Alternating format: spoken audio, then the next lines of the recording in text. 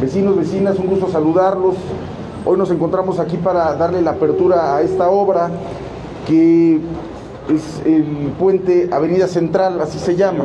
No está exactamente en Avenida Central, está ubicado en una de nuestras comunidades, prácticamente abajo del puente de la autopista eh, Siervo de la Nación. Quiero agradecer a todos nuestros delegados, delegadas que se encuentran aquí con nosotros, vecinos, vecinas.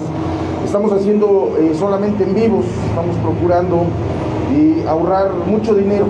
Pretendemos que esto nos permita en un futuro seguir creando y trabajando en obras que van a ayudar mucho a la comunidad. Por esa razón, solamente les doy la más cordial bienvenida a todos ustedes. Quiero agradecer la presencia de regidores, regidoras, a nuestro director de obra pública, al ingeniero Jonathan, y también a mi diputada, la diputada local Luz María, muchas gracias por acompañarnos. Voy a comentar algunas actividades muy rápidas, le voy a pedir aquí a nuestro eh, compañero, mi particular, me pueda pasar unas fichitas, voy a solamente a comentarles algunas cosas. Primeramente, les ofrezco una disculpa, ayer teníamos que estar haciendo esta actividad, les pedí que me acompañaran, pero estuve trabajando eh, con tres diputados, tres diputados locales, que bueno, le agradezco que hayan venido desde sus lugares, que hayan venido desde, en este caso, las actividades que han venido realizando a estos diputados. Y con la diputada Edith Marisol Mercados Torres, muchas gracias, que es la presidenta de, de la Comisión de Protección Civil del Congreso. Quiero agradecerles a, a ella, sobre todo, eh, que nos dio la oportunidad de estar. A Isaac, también al diputado Isaac, estamos trabajando porque también eres parte de la Comisión de Finanzas, y ahora, bueno, pues con nuestra diputada que está aquí con nosotros, la diputada Luz María, hay muchas tareas por hacer. Primeramente quiero, desde este, desde este espacio, pasa para acá, este, Enrique, vente, mira, pídeles permiso para que no estés atravesando aquí en la cámara, que nos están siguiendo y nos están viendo muchos vecinos y vecinas. Y quiero pedirle, quiero pedirle a mi diputada que nos ayude, a los diputados del Congreso. Sé que tienen presiones muy difíciles en el Congreso, pero quiero hacer desde aquí el exhorto al gobernador, muy respetuoso porque así hemos sido, así hemos hecho estos tres años. No hemos incluso convocado a la población para que también haga ejercicios de manifestación. Sé que tiene una extraordinaria relación con el gobierno federal, pero al margen de que pueda tener una extraordinaria relación con el gobierno federal, tiene que responder con nosotros aquí en Ecatepec. Él también gobierna Ecatepec, que son uno de los 125 municipios que conforman todo el Estado de México. Y tres temas centrales que son los que hemos venido platicando con él, como es la seguridad, el otro tema que es el agua potable y una tercera que es infraestructura. Quiero pedirle y que también nuestra diputada también pueda ser portavoz. Hay recursos pendientes. 68 millones eh, de pesos del PAC, que es un programa eh, de recursos para nuestras comunidades, y 59 millones de pesos de FEFOM ordinario. Entre todos, bueno, pues eh, nos van a permitir terminar obras que van al 95, al 85%, casi todas nuestras obras que hemos planteado están por terminar, están por concluir. Y también pedirle al señor gobernador que nos ayude Sé que él tiene una buena voluntad, espero, y lo he dicho así, que no lo envenenen sus auxiliares, sus secretarios, que también ayuden a coadyuvar esta, este ejercicio de, gobierno, porque son 14 mil, hasta el día de hoy, son 14 mil millones en el tema de agua que no, no ha llegado a KTP, 14 mil millones de litros que ya en 20 meses se han juntado y el pueblo resiste. Me voy a reunir en próximos días con los comités de agua potable en Ecatepec. Son muchísimas mujeres, todos en el territorio. Hemos venido platicando para poder hacer los comités de defensa del agua, donde hacemos un pozo, hacemos un comité, donde hacemos un drenaje, hacemos un comité. Esta lucha que hemos planteado es para tocar la puerta con el gobernador y que si él no puede abastecer de agua, que juntos busquemos una solución. Se los hemos demostrado que cuando hay voluntad se pueden hacer las cosas.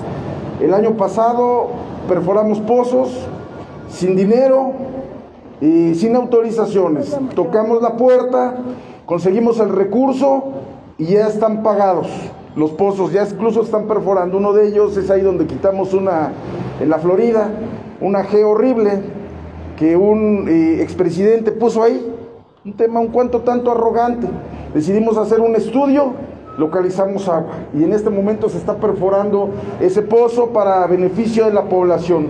Cinco más, uno de ellos entregado que está en la Pichardo Pagasa, que es el pozo Emiliano Zapata, uno que entregamos completo de 5, de 45 que necesitamos para que podamos superar el déficit de agua que requiere toda la población. Por eso hago el exhorto muy respetuoso al señor gobernador y también pues aprovechar que está nuestra diputada para poderle eh, pedir que nos ayude, que nos ayude a hablar con la gente del ICEMIM. Yo pensé que habíamos visto todo, pero no. El primero de noviembre al 22 de diciembre se han ingresado 907 incapacidades en la Dirección de Seguridad Pública y Tránsito en este órgano del ICEMIM. Esto es que el ICEMIM ha aprobado cerca de casi mil incapacidades en el área de seguridad pública. Como pueden ver, es un área donde necesitamos que estén nuestros policías vigilando. Durante mucho tiempo no le invirtieron al tema de seguridad, no metieron a trabajar a policías para que tuviéramos una corporación fuerte, una corporación con infraestructura, sino que dejaron abandonados estos espacios y ahora que nosotros pretendemos, estamos hablando que son cerca de más del 25% de policías que nos dejan fuera de operación. Le pido a mi diputada que hable con los responsables del ICEMIM y que se haga una reclasificación del por qué están dando estas incapacidades como si estuvieran repartiendo dulces el Día del Niño. Eso nos preocupa. Para mí, y lo voy a decir así categóricamente, para mí hay actos de corrupción ahí. 453 que se duplican y solamente una de ellas, de estas 907, es por COVID. O sea, solo una de estas casi mil incapacidades. Por esa razón, hoy hago este exhorto y me da mucho gusto que me acompañen delegados, delegadas de diferentes comunidades. Y lo último, ya que estamos en esta asamblea, pues yo le agradezco mucho al gobernador que me haya invitado a un evento que va a tener el próximos días para empezar eh, la primera semana de enero, pero quiero someterle a su, consideración. Él me invita a un evento para poder estar con él, pero nosotros tenemos la inauguración de un pozo, un pozo donde también se comprometieron a apoyarnos y con algunas actividades económicas y lo terminamos haciendo nosotros. La pregunta es, ¿Vamos a su evento o nos vamos a nuestra inauguración del pozo? A ver, que levanten la mano nuestros delegados. A ver, al pozo. Bueno, pues le agradezco, señor gobernador, la invitación, pero tenemos que hacer la inauguración de este pozo. En fin, muchas gracias, un fuerte aplauso a todos. Vamos a darle la apertura a este espacio. Le voy a pedir al ingeniero Jonathan que nos ve rápido, pero muy rápidamente, la ficha técnica de esta infraestructura que se creó gracias a los recursos que se han venido administrando. También quiero aprovechar, por aquí se encuentra el circuito Pentatlón, que lo entregamos hace unos meses, ¿verdad, ingeniero? se repavimentó el circuito. Bueno, pues si nos puedes hablar de a cuánto asciende ese circuito Pentatlón y esta área que vamos a entregar el día de hoy. Claro que sí, señor. Muchas gracias, señor presidente. Muy buenos días. Pues comentarles primero de esta obra, es un puente vehicular. La verdad, difícilmente un gobierno municipal puede invertirle tanto a un puente vehicular porque sale algo costoso. Por este puente vehicular, recuerdo mucho, señor presidente, que pasamos un día en la madrugada y que no pudo subir el camión y que estaba a punto de colapsar. La verdad, eh, si no hubiéramos hecho esta maniobra, esta obra, hubiera pasado algo terrible, tal vez hasta deceso si alguien que se hubiera caído en un accidente, un eh, accidente automovilístico. Pero se, se, reconstruyó el cuerpo norte, señor presidente, o sea, está desde la cimentación profunda, cimentación eh, superficial, tenemos los, este, las traves, las traves de concreto, se hicieron guarniciones, se hicieron banquetas, y en el cuerpo sur, señor presidente, nada más se rehabilitó porque la estructura de este, de este cuerpo todavía tiene un buen tiempo de vida en función, pero el cuerpo norte, la verdad, estaba a punto de colapsar. Lo importante es que atendimos a tiempo, señor presidente.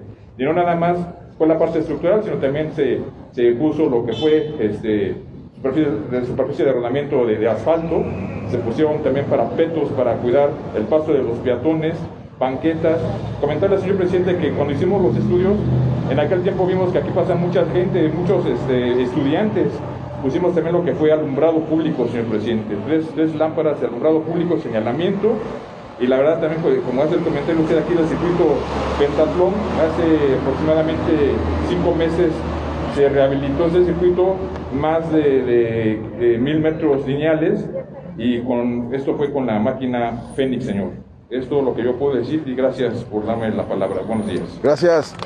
Ingeniero, pues muchísimas gracias. Vamos a acercarnos para cortar ya de manera simbólica este listón que nos permite eh, generar condiciones ya importantes de la apertura. Ya tiene unos unas semanas que ya está en funcionamiento este Así es. espacio y bueno, nos va a ayudar mucho para poder, en este caso, eh, ocupar también la autopista eh, Siervo de la Nación y bueno, pues es parte integral de un circuito que nosotros también consideramos que son obras importantes para la comunidad. En fin, pues muchísimas gracias a todos ustedes, vamos a darle corte de listón, eh, solamente saludarlos, no vamos a descansar, vamos a seguir trabajando, vamos a seguir haciendo la inauguración, todavía nos hace falta inaugurar en Ciudad Azteca algunas vialidades, o sea, tenemos prácticamente cerca de 30 obras que tenemos que terminar para entregar para beneficio de la población.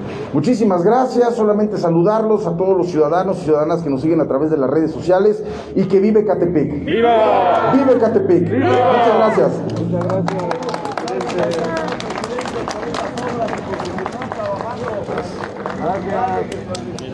Muchísimas gracias.